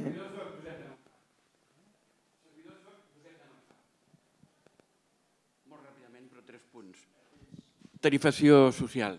Com que sóc farmacèutic, aporto un exemple que s'ha tirat endavant de fa uns pocs anys, poc conegut i que no ha tingut problemes, que és el pagament dels medicaments. El pagament dels medicaments. El, el pagament dels medicaments es fa en funció de, sobretot, la Seguretat Social paga una part molt important, però l'altra part va en funció de la renta de la persona que va comprar el medicament. Això molta gent ni ho sap, però és així. I, i funciona bé i no hi ha hagut protestes i jo com a farmacèutic en farmàcia, doncs quan ho explicava, en general la gent ho trobava bé i no protestava. El segon punt, el de la neutralització del dèficit. La neutralització del dèficit jo crec que és una, un afer importantíssim i que s'ha d'explicar molt. Els economistes ho entenem, però, però esclar, els que no són economistes són el 99% de la població i no ho entenen. Eh, està inclòs també el senyor Borrell, que és enginyer i no economista. No ho entén, no ho entén. I aleshores jo crec que això és una cosa que s'hauria d'explicar molt extensament i molt profundament. I el tercer punt és el de la harmonització fiscal. Eh, crec que és importantíssim, importantíssim. Eh? Eh, per exemple, el meu cas, servidor, doncs soc economista i farmacèutic, en guanyo bé la vida, soc classe mitja alta, però no milionari. Jo pago bastant més de patrimoni que d'IRPF, que d'impost de renda. I el meu cas és cada vegada més general, cada vegada més. I això és un problema gravíssim, Perquè jo que sóc indepè de tota la vida, de quan érem quatre, i he estat tancat 15 mesos i un dia, doncs tot i això, a vegades començo a pensar, i si m'anés a Madrid o no sé on, o almenys ho fes veure. I de fer els serveis de banca privada de tots els grans bancs espanyols t'ofereixen clarament. Eh? No pot ser que jo pagui dos vegades i mitja més de patrimoni que de renta i que doncs una persona equivalent a mi, economista i, i farmacèutic a Madrid, pagui zero de patrimoni. Lo de successions que comentava no és tan important perquè és una vegada a la vida o una vegada a la no vida, a la mort. Però és que el del patrimoni, ostres, ja estàs patint quan el pagues per l'any que ve. Això no entenc com legisladors i governants de la Generalitat no se'n donen compte o potser és que no hi poden fer res, però és un afer molt important. Eh, confesso que no domino el tema dels pagaments de, de, de medicaments, eh, però en fi, m'apunto al que m'apunto al que, el que, el que dius. El de la neutralitat eh, i la, la manera més eh, possiblement entenedora que he trobat és explicar el que, el que he dit abans. Tu agafes una sèrie de 20 anys o de 25 mires eh, tot el que tot eh, el que ha rebut Catalunya i tots els impostos que ha pagat i els impostos que ha pagat són superiors a el que, són superiors a el que ha rebut. Eh, ergo, per què estem pagant deute del Regne d'Espanya? Jo crec que això ho pot entendre... S'ha d'explicar, s'ha d'explicar. Eh? Que s'ha d'explicar. Sí, sí. S'ha sí, d'explicar sí, perquè sí. la gent no ho sap. Sí, sí. Eh, bé, Um, L'harmonització fiscal. I, i l'harmonització l'harmonització fiscal. Uh, es pot tenir l'impost del patrimoni per dues raons. Uh, una, i aquí haig de declarar-me culpable, uh, una perquè has de treure diners d'on sigui, uh, perquè si no uh, t'has de vendre t'has de vendre això, has de posar l'impost de, de patrimoni i a pesar de tot et tiren la cavalleria per sobre perquè no compleixes el, no compleixes el pressupost. Uh, la segona raó és que t'agrada, uh, t'agrada uh, posar impostos a, qui, a, qui té, a qui té riquesa. Eh? Ara potser et desconcertaré. Jo no estic en contra de posar impostos a qui té riquesa. De fet, segurament em posaria més, eh, em posaria més de la que hi ha, perquè amb la meva, amb la meva impressió eh, la gent hauria d'anar a la vida amb, el, amb, amb tota l'educació que li donguin els seus pares i poca cosa, i poca cosa més. Tot el que reben de més no, no estic segur de que sigui plenament, eh, plenament eh, justificable. Eh, ara bé, la competència fiscal és una cosa diferent. Eh? És dir, no... Eh, eh, si eh, jo puc pensar que l'impost de patrimoni ha d'estar aquí, eh, però si el poso aquí, aquest em fa competència fiscal i em, i em, i em destrossa. Anecdòticament puc dir que a mi em va tocar eh, defensar la pujada de l'impost de la baixada de l'impost de successions, eh, quelcom, amb el, quelcom amb el que jo no estava d'acord. Diguem-ne, no era una raó per dimitir, però no hi estava d'acord. I eh, a la, la presentació vaig argumentar, vaig dir que a mi em semblava bé l'impost de successions, però vaig argumentar la baixada, també hi havia la política, en la competència fiscal des de, des de Madrid, però estic d'acord que la competència fiscal és segurament més forta en patrimoni que en patrimoni que en, en, successions. Eh, ara, en successions també algú que heredarà algun dia i que, i que no té eh, passió de treball o coses, coses aquestes, doncs mira, escolta, anar-se'n a viure a Madrid, doncs eh, un dia li significarà, eh, li significarà alguna cosa. Eh, la situació que tenim ara eh, continua sent una mica, una mica aquesta. La Generalitat no pot prescindir d'aquests diners. Eh, per tant, eh, el que jo proposaria és que ens posem tots d'acord i li imposem a Madrid eh, li imposem, baixem tots l'impost de patrimoni, si és necessari, o posem tots la mateixa. Eh? Aquí és competència fiscal. O posem tots al mateix nivell, o baixem-lo o baixem-lo tots, i, mm, i ja està. Eh, però si no, eh, això serà una màquina acumulativa on havia aquell article famós del, d'en Maragall de que Madrid se sale, doncs sí, Madrid se sale eh, eh, com, a, com, a paradís, com a paradís fiscal. Internament Espanya, eh? Externament no, no, no traurà nota com a paradís fiscal, eh? eh diguem-ne, amb alguns aspectes com la fiscalitat per l'atracció de talent, Itàlia o Portugal, tenen, tenen, ho, tenen, ho tenen millor. Eh, ho tenen millor perquè ja la legislació de l'Estat tampoc li permet fer-ho tot a Madrid. Eh, ja voldrien, però no, no els hi permet no els hi permet de tot, però internament a Espanya eh, no, no hi ha dubte. Per tant, si, si, eh, si en Sánchez proposés harmonització fiscal, eh, jo hi estic a favor. Moltes gràcies. Sí, jo cada vegada tinc més amics que se'n van a Madrid o ho fan veure. A on? A Madrid o ho fan veure. I llavors aquí perdem el patrimoni i la renta, les dues coses. Sí, sí, sí, sí, sí efectivament. Gràcies, Enric Fernández de CaixaBank. Un comentari i una pregunta. El comentari, al principi, ha suggerit que les pensions, hi havia hagut una distorsió en termes de l'ajust de les pensions, arran de que són competència exclusiva de l'Estat. Però, de fet, no creus que diguem la... més important que això encara és el poder polític del grup de pressió que representen els pensionistes i que, de fet, eh, introduir competència entre comunitats en el disseny de, del sistema de pensions eh, no és que faria o et facilitaria ajustos, de fet, a veure, tenim el pacte de Toledo precisament perquè és un tema que sabem que si generem competència en això, la competència acostuma a anar a l'alça en lloc d'anar a la baixa. No? A banda, jo crec que de fet és un programa que quan comences a pensar quin tipus de competències voldries donar a l'Estat, federal, potser és el que té més característiques de, de, de, de funcionar com un, com un programa federal. No? Estabilitza macroeconòmicament, el que deies al final, que temes d'equitat, de que no vols introduir diferències. Aquest era un comentari sobre algun punt important que crec que, que has fet. I la pregunta sobre un tema que no has, que no has tractat és sobre les regles fiscals.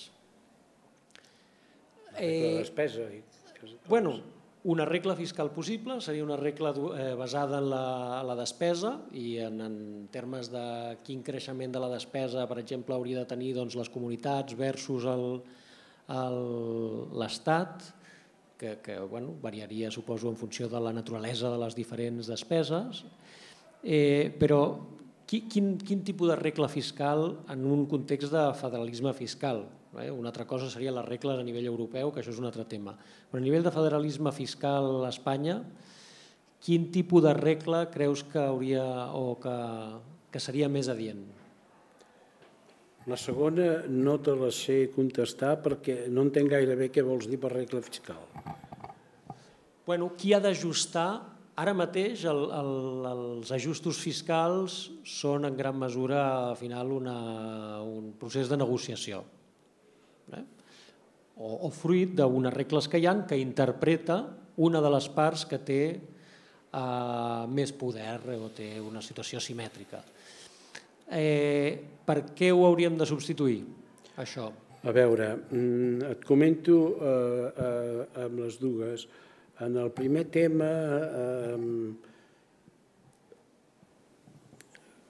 sóc conscient que el que he dit, i no sé si ho he dit explícitament, eh, tot és en el marge. Però ja saps, en economia el marge, eh, el marge és important.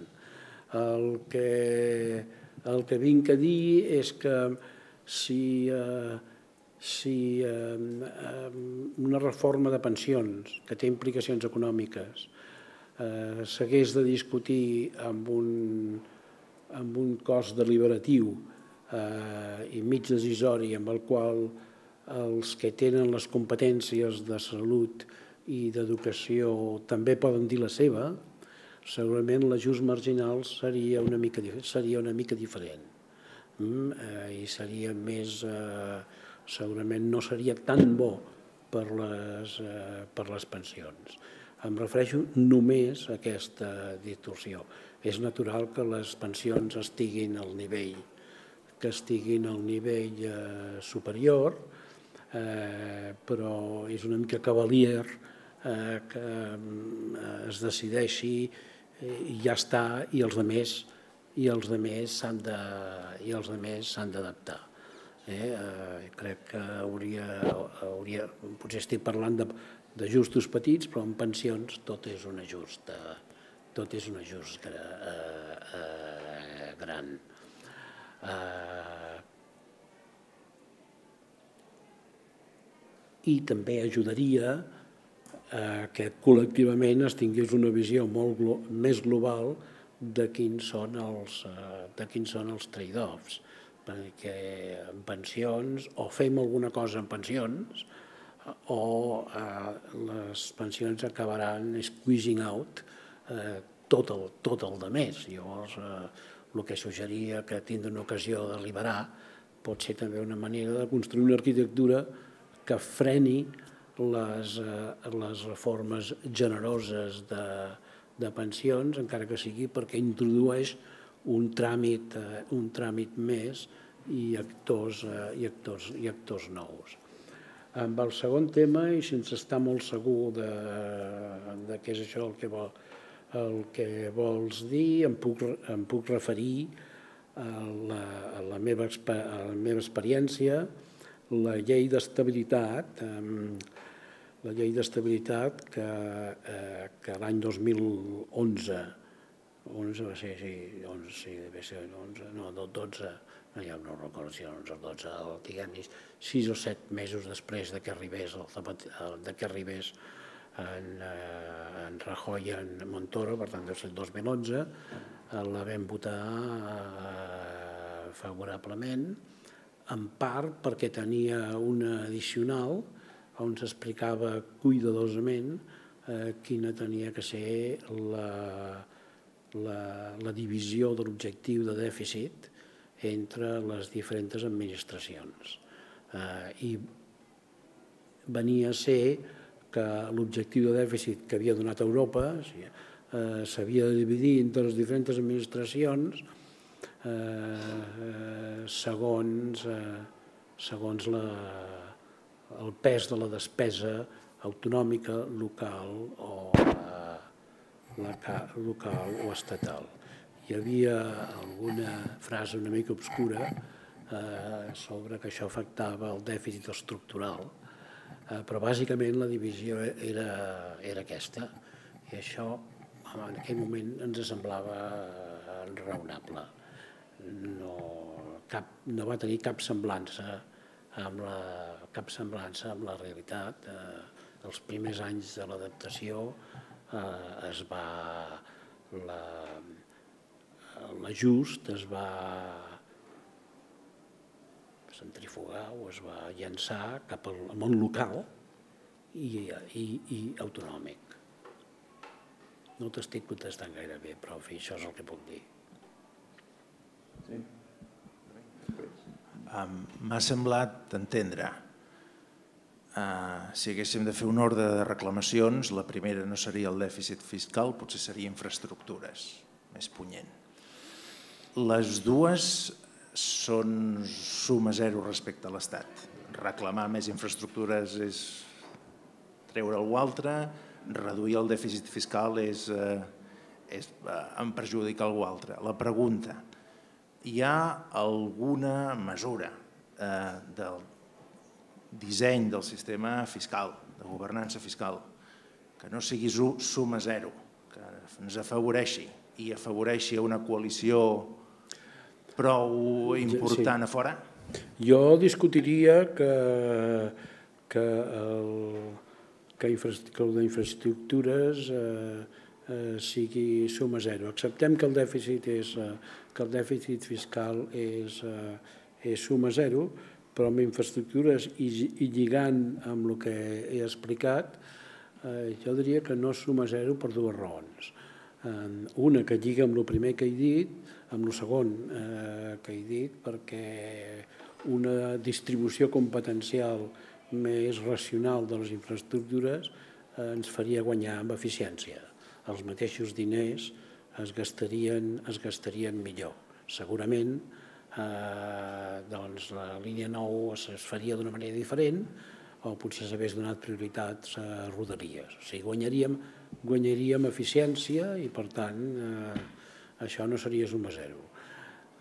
La segona raó és que jo argumentaria que les, infraestructures són eh, l'oli eh, per la màquina productiva i, per tant, per la generació d'impostos. Eh, I, per tant, la mala qualitat de les infraestructures a Catalunya frena, eh, frena el creixement o frena la generació de, la generació de renta i, per tant, la recaptació, la recaptació d'impostos. En aquest sentit, diria que, que tampoc és necessàriament eh, suma zero, però, però potser ho és una mica més que el que, que, el que he dit eh, eh, que el que he dit, eh, que el que he dit abans, eh, però eh, diguem-ne, mentre que, que un eh, mentre que jo puc entendre que se m'argumenti que, que se m'argumenti que els catalanes sois ricos, som bastant menys del que es diu normalment. Eh? Eh, passem per als més rics de tots. Jo recordo la vegada que li vaig explicar a un, eh, a un diputat eh, de Die Linke, alemany, que, els, que teníem al País Basc, que Navarra i Madrid per davant, eh, va ser, eh, no, no em va creure, simplement no em va creure. Era molt amic dels bascos, suposo que, que, que dels sectors més d'esquerra dels bascos, i eh, no em va creure, simplement. Eh, per ell era, era, era una veritat que eh, Catalunya era la més eh, rica d'Espanya. Però bé, estem per sobre de la mitja i per tant puc entendre que em diguin i per tant has de pagar més. Mm? Ara, jo no acceptaria que em digui, per tant, has de, pagar, has de tenir menys infraestructures. Quina, quina, quina és la gràcia que et diguin menys, infra, menys infraestructures? Home, històricament ja ha sigut el cas. L'autopista l'autopista del Mediterrani ens l'hem pagada ens l'hem pagada nosaltres i d'acord, mira, encara aquesta ens, ens, ens, ens han deixat de fer i pagar, Rodalies no, eh, Rodalies la cosa no es planteja. Una vegada vaig trobar a les memòries de, com es deia aquell home, el, un ministre franquista d'obres públiques, eh, aquell de les ideologies. Eh? El Fernández de la Mora. Si les seves memòries estava molt cofoi explicant, no amb aquestes paraules, però venia aquí aquestes paraules, que ell havia sigut responsable de, uh, de, hacer, de hacer las seis grandes vías del Estado, o sigui, sis, sis autovies que sortien de Madrid, això estava molt orgullós, i la segona cosa que estava molt orgullós, i de dejar a los catalanes que se hicieran les suyes.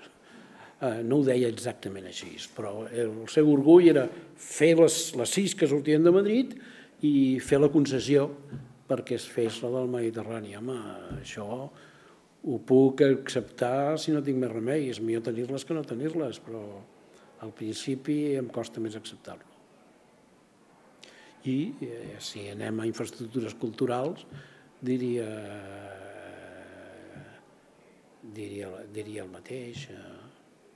I les educatives? I les educatives, diria el mateix, eh, no n'estic tan segur. Eh? No, la Complutense no és cap meravella. No, no puc dir amb justícia ara que el centre discrimina a favor de, a favor de Madrid. Hi havia una època que sí, eh? Hi havia una època en què el CSIC estava pràcticament tot a Madrid i ara continua havent-hi més teixit a Madrid del que, del, del que tocaria, però vaja, comparat amb les altres coses que es diuen les OPIs, els organismes públics de l'Estat que estan tots a Madrid, no, tots no, però pràcticament eh, el CSIC està, està molt distribuït i les, eh, i les universitats doncs, estan totes les autonomies. No, en aquest àmbit, en aquest àmbit no, no és el, no és el, no és el més, eh, no és el més punyent. Fins i tot la distribució de fons de, de, de recerca eh, es poden posar moltes reserves a les quantitats absolutes, el fet de que els grans són molt petitets, etc. però la concessió eh, no es pot dir que estigui, eh, que estigui eh, esbiaixada a favor, a favor de, de Madrid. Ara, eh? ara, el futur eh, ja ho veurem. Quan alguna cosa no va bé a Madrid, tendeix a convertir-se en, un dra en un drama espanyol. Quan alguna cosa no va bé, no va bé a Catalunya, és un drama, és un drama català. Mm -hmm. Santiago? Sí, eh, gràcies. En respecte a les infraestructures, eh? en respecte a les infraestructures, eh, voldria fer no una pregunta, sinó una consideració. Eh, a mi em dóna la impressió que, efectivament, no és que em doni la impressió, ah. és que eh, jo podria assegurar...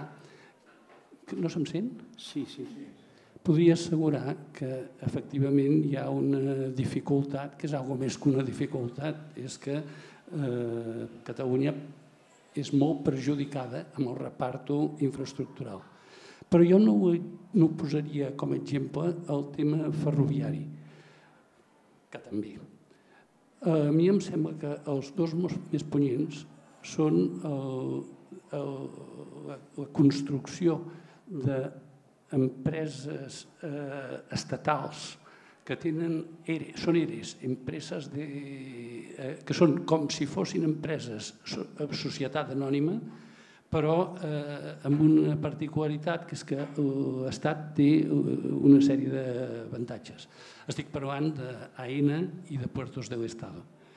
Aquestes empreses impedeixen que hi pugui haver-hi autogovernança, que és precisament el punt vital que tu parlaves de que eh, s'ha de conservar. El, la decisió sobre el progrés de, de, de, de, de Sevilla amb el seu aeroport o de Galícia està en mans d'un ens estatal que té com a, en aquest cas AENA, que s'ha sofisticat tant que té ja un 49% d'iniciativa de, de privats en el, i aquests forcen en els dirigents d'AENA a treure el màxim profit. A fer? A fer el màxim profit de la xarxa, no el màxim profit per Sevilla o per Madrid o per el que sigui. Llavors, això condueix a una lògica que és que la xarxa ideal és aquella que té un hub molt potent que s'alimenta dels, dels els peixos petits. I això encara fa un efecte superlatiu amb la centralització del, de l'atracció de la riquesa.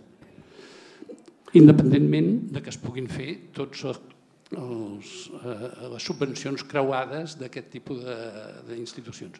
En canvi, amb el tema ferroviari, encara que potser la intenció era aquesta quan es va fer Adif i Renfe, vaja, no és que sembla, és que era aquesta la idea, es veu molt contrarrestada per la directiva europea que conduirà, eh, si, si no es tira enrere, a que eh, l'única cosa que faci l'Estat sigui regular.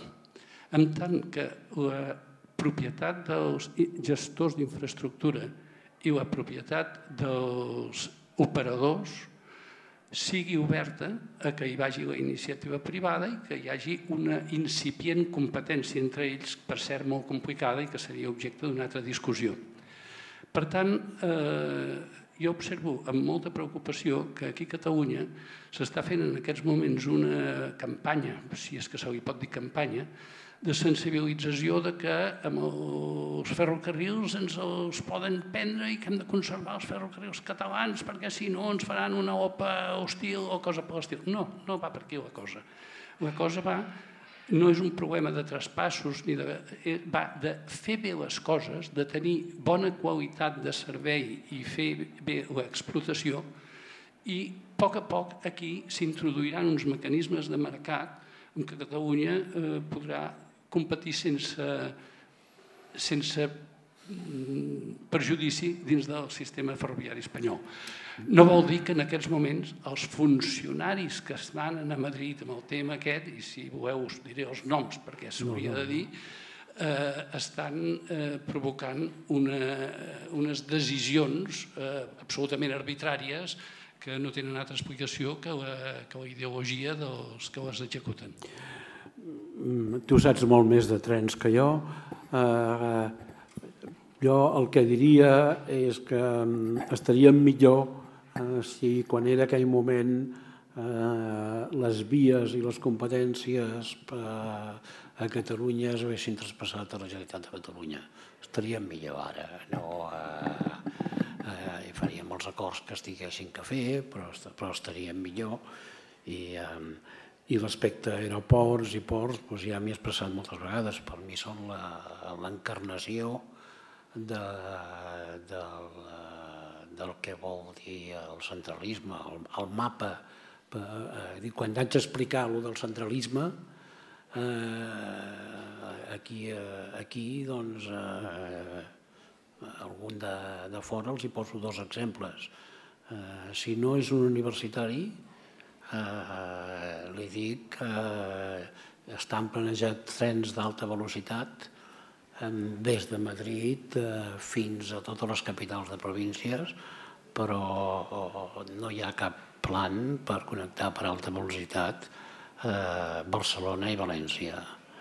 I com que a Catalunya tenim molts bons economistes, alguns dia, algun dia ens diran que no n'hi ha entre Barcelona i València perquè van haver uns estudis acadèmics eh, que deien que els comptes no sortien. Esclar, no surten per res, no surten per cap... Eh, és a dir, eh, en el govern central li vindrà molt bé descobrir eh, que no té sentit econòmic eh, fer la xarxa una vegada la tenen feta i llavors no tindrà que connectar Barcelona i Madrid. I per acadèmics, i això ho he dit en un article últimament, per acadèmics, un exemple deliciós que m'agrada explicar és, eh, és del segle XIX, eh? però és, encarna l'essència del, del centralisme nostrat. Um, um, Espanya, Castella, uh, tenia una universitat esplèndida que es deia Universitat de Salamanca, la tercera o la quarta més antiga d'Europa, amb uns edificis magnífics. Eh? Uh, una cosa que podia impressionar la gent d'Oxford i de, a la gent d'Oxford i de Cambridge. A més a més, també tenia una tradició intel·lectual superior a la mitjana superior a la mitjana espanyola. Bueno, doncs el 1857, Ley Moyano, eh, un govern liberal que tenia l'Estado en la cabeza, eh, va passar una llei amb la qual eh, la Universitat de Salamanca passava a ser, amb vuit altres, eh, Universitat de Distrito eh? que no tenia, com les altres, com la de Barcelona, etc, la capacitat eh, de fer doctorats. O sigui, se li va treure la capacitat de fer doctorats a l'Universitat de Salamanca, 800 anys, etc.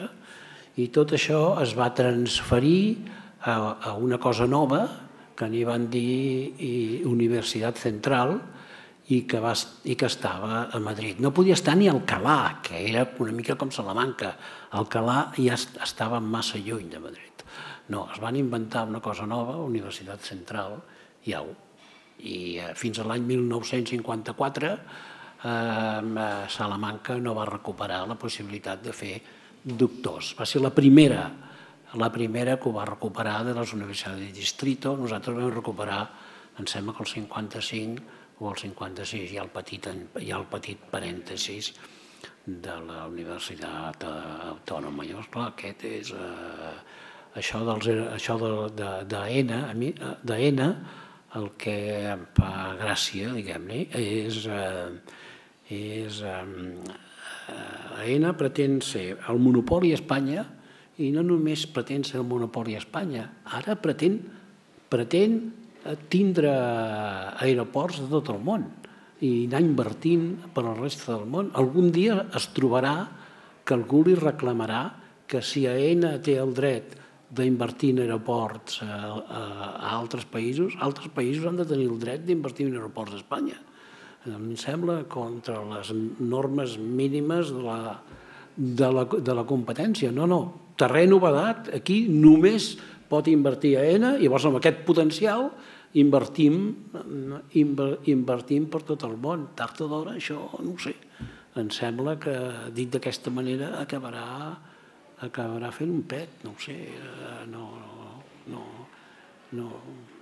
I sí, posar privats també va ser una manera de fer més complicada la transferència, però vaja, es pot, es pot fer igualment, eh? es compensa els privats i es fa la transferència.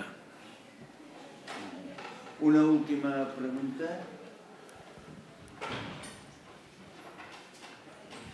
Sí, bona tarda. Uh, jo uh, tinc una mica, uh, no me'n vull anar perquè um, uh, sense preguntar, que m'ha sorprès molt l'afirmació la, de que uh, acceptaria el dèficit fiscal tal com està ara, en canvi, uh, si es cobrís els nivells d'inversió. Jo, per, eh, així de memòria, si no recordo malament, el dèficit fiscal estàvem parlant d'un 8% del PIB anual és un drenatge importantíssim i el diferencial d'inversió, si no recordo malament, pot anar al voltant d'un punt màxim del PIB. O sigui que en total, eh, per diferència, estaríem parlant d'un drenatge d'un 7%. Això jo crec que, que difícilment una economia com la catalana, amb el nivell de competència que hi ha en aquest moment, a nivell internacional, jo no crec que això ho pugui suportar si vol estar una mica eh, o tenir un futur una mica assegurat.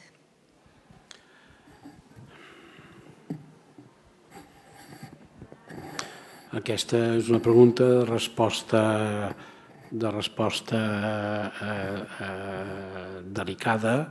No he parlat d'inversió, no dic que acceptés inversions, Eh, hi ha el dèficit del benefici, hi ha el dèficit eh, pel flux monetari. Eh, quan he fet aquella afirmació em refereixo més al del benefici, que és el més petit, eh, que no a l'altre, perquè l'altre ja he reclamat que la despesa que la despesa s'ha de fer eh, de fer aquí. Eh, em moc amb un món de del second o el third o el fourth best. No? Eh, a mi em dóna la impressió, però sí, hem arribat fins aquí, potser podíem arribar més enllà, però hem arribat fins aquí amb el dèficit fiscal. Hem arribat fins aquí amb, una, amb un, amb un delma amb un delma, eh, amb un delma considerable. I sí, no som els primers d'Espanya, de, som, els, eh, som, som els quarts. Eh? Em puc equivocar, però a mi em dóna la impressió que si realment poguéssim gestionar la nostra economia amb, complet, amb completa llibertat, compensaríem aquest delma. Uh, és la meva, és la meva, impressió. I, eh, i anant a l'extrem i per tornar-li la... per, per, eh, per tornar-li la pilota, reflexioni sobre el següent. Eh, eh, portem l'autogovern a l'extrem de la independència. Eh? De independència i vostè imagini's que li, donen a tri, que li, que li ofereixen que li ofereixen la independència, però el delma s'ha de mantenir, que es pot formular de moltes maneres, per exemple, assumint una quantitat desproporcionadament alta del deute, del deute espanyol, o sigui que no podem dir, bueno, ara diem que sí, després serà que no. O sigui, realment el delma el tenim allí. Què faria? Ho acceptaria o no ho acceptaria?